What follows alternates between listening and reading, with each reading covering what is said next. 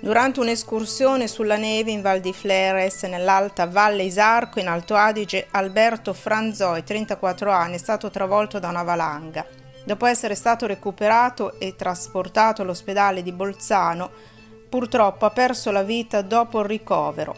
Il fratello Marco, 36 anni, è fortunatamente rimasto illeso ed è stato colui che ha lanciato l'allarme.